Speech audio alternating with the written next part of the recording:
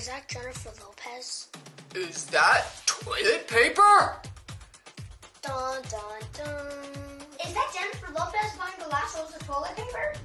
Hi, I'm Jennifer Lopez, and I just bought the last roll of toilet paper. Thanks. This is the best day of my.